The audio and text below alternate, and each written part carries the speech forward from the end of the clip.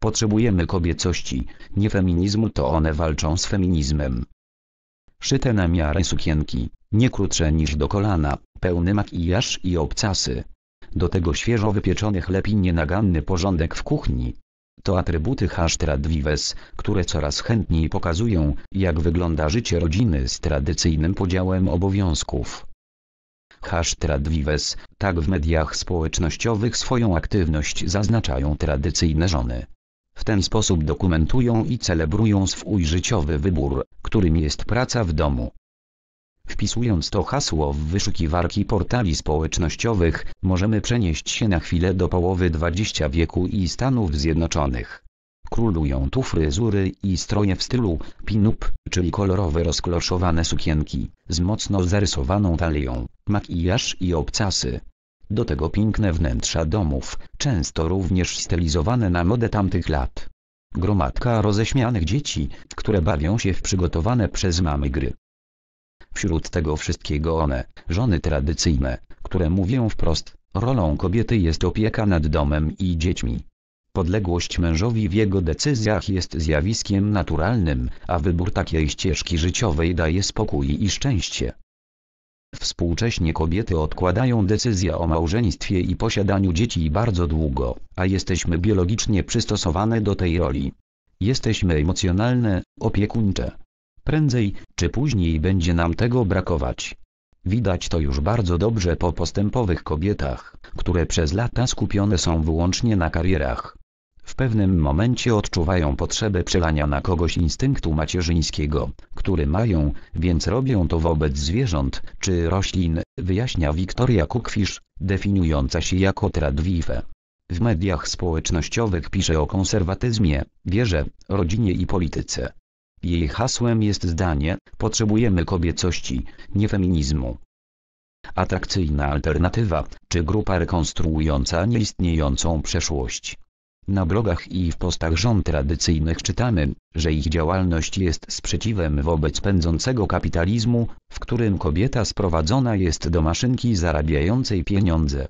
Ich sprzeciw budzi fakt, że bardzo szybko muszą rozstać się z dziećmi, by wrócić do aktywności zawodowej. Media społecznościowe są bardzo dobrym miejscem, żeby zamanifestować swoje konserwatywne wartości. Kobiety, które zostają w domu, mają czas, żeby dokumentować i pokazywać innym, w jaki sposób żyją. Ludziom się to podoba. Widzą, że takie życie jest łatwiejsze. To nie jest wyścig szczurów, gdzie ciągle za czymś biegniesz.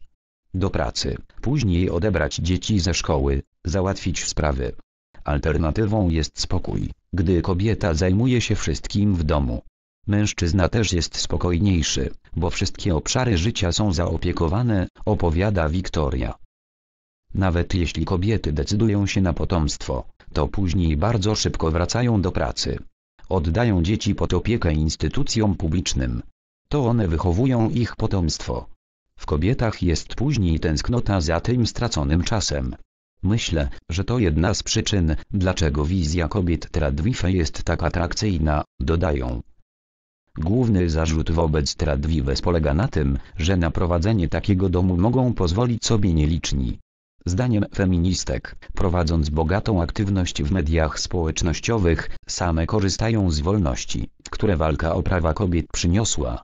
Gdyby nie feministki, decyzja o prowadzeniu życia jedynie w domu byłaby nie alternatywą a przymusem, pod którym byłaby połowa naszego społeczeństwa.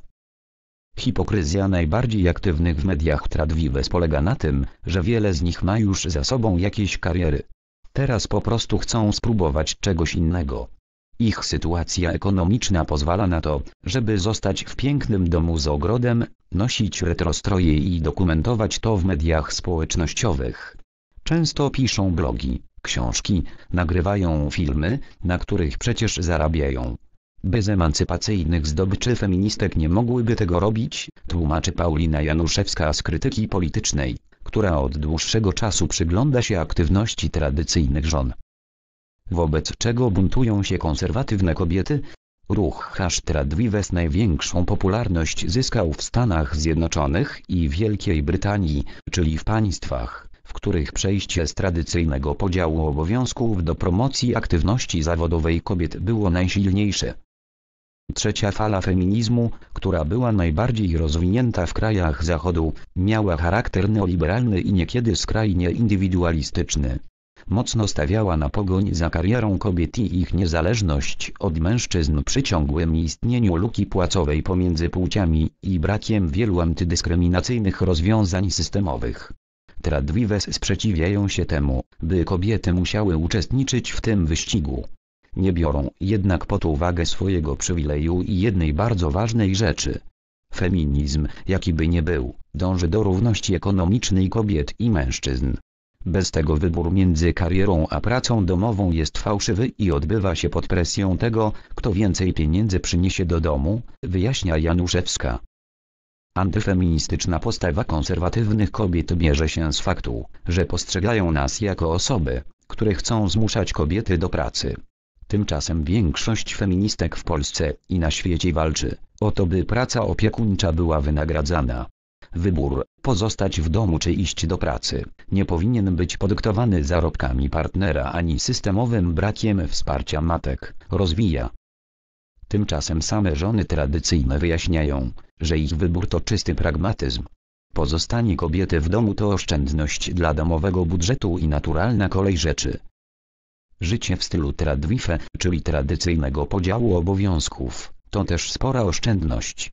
Nie wydajemy pieniędzy na nianie, obiady na wynos. Ludzie gdzieś podświadomie widzą, że pędzą i pracują tylko po to, żeby zapłacić za rzeczy, które, gdyby mieli czas, mogliby zrobić sami. Jest teoria, która mówi o tym, że to wielkie korporacje wspierają feminizm po to, żeby zagonić drugą część społeczeństwa do pracy. Coś w tym jest. Kontrowersje w spódnicy, czyli obawy przed ruchem hashtag WIFE wśród zarzutów wobec tej społeczności pojawiają się przede wszystkim obawy o hamowanie dążenia do równouprawnienia, które zdaniem ruchów feministycznych nie zdążyło się jeszcze w pełni zrealizować. Jako dowód przytaczają tu luki płacowe, nierówności w liczbie kobiet i mężczyzn zasiadających na kierowniczych stanowiskach. Zdaniem feministek ruch Tradwife jest skrajnie indywidualistyczny, ponieważ kobiety wykorzystują swoją dobrą sytuację ekonomiczną do robienia kariery w mediach społecznościowych. Podkreślają, że na taki wybór mogą pozwolić sobie najbardziej zamożni. Tymczasem w większości domów o tym, kto robi karierę, decyduje wysokość pensji partnerów. To jednak nie jedyny zarzut wobec tradycyjnych żon. Szczególnie w Stanach Zjednoczonych koncepcje powrotu do tradycyjnych ról wiąże się z altriktem i ruchami nacjonalistycznymi. Felietonistka Annie Kelly na łamach The New York Times postawiła tezę, że istnieją powiązania między ideą Tradwives a białą supremacją. Jej zdaniem ruch powstał w odpowiedzi na migrację i spadającą liczbę białych kobiet, które rodzą dzieci. Annie dowodzi, że ruch wzywa białe kobiety do zrównoważenia tych dysproporcji, a tradycyjne żony zmanipulowane propagandą wpisują się w wizję świata radykalnej prawicy. Podobnego zdania jest Paulina Januszewska z krytyki politycznej. Prawica w tym skrajna, dawno zauważyła, że nie opłaca się już postawa antykobieca, ponieważ wiąże się z utratą głosów połowy społeczeństwa. Ruch tradycyjnych żon pozwala na ich zagospodarowanie i jednocześnie umocnienie dominacji mężczyzny. Czy w Polsce przyjmą się tradycyjne żony? O popularności ruchu w konkretnych państwach decydują różne czynniki. Przede wszystkim historia równouprawnienia. W Polsce aktywność zawodowa kobiet wyglądała zupełnie inaczej niż w niektórych państwach Zachodu. Ze względu na skomplikowaną historię, konflikty zbrojne, aktywność zawodowa kobiet bywała koniecznością. To również w naszym kraju kobiety jako jedne z pierwszych uzyskały prawa wyborcze. To wszystko sprawia, że rewolucja, którą przeszło część państw Zachodu, u nas przebiegała znacznie łagodniej, a emocje, z którymi się wiąże, są zupełnie inne. Paulina Januszewska zwraca jednak uwagę na inny trend, który może sprzyjać rozwojowi ruchu w Polsce. Tradwives to ruch zyskujący największą popularność w Stanach Zjednoczonych i Wielkiej Brytanii, bo odwołuje się do tamtejszych modeli idealnych żon z lat 50. W Polsce widać jedynie jego zalążki, które mogły, ale nie musiały paść na podatny grunt. Patrząc jednak na to, że inny, przybyły z wysp i zza oceanu dość specyficzny nurt, radykalny feminizm, który raczej powściągliwie krytykuje układ z mężem jako jedynym żywicielem rodziny i który stradwives łączy niezgoda na inkluzywność w tym, kogo uznajemy za kobiety, znajduje szerokie grono odbiorców, to można spodziewać się, że i nad Wisłą pojawi się więcej konserwatywnych żon, uważa Januszewska. Każdy ze scenariuszy zakłada, że pewna część społeczeństwa wybierze taki podział obowiązków, a zjawisko powrotu do tradycyjnych ról na świecie będzie postępowało. Dlatego warto mu się przyglądać. Autorka Karolina Olejak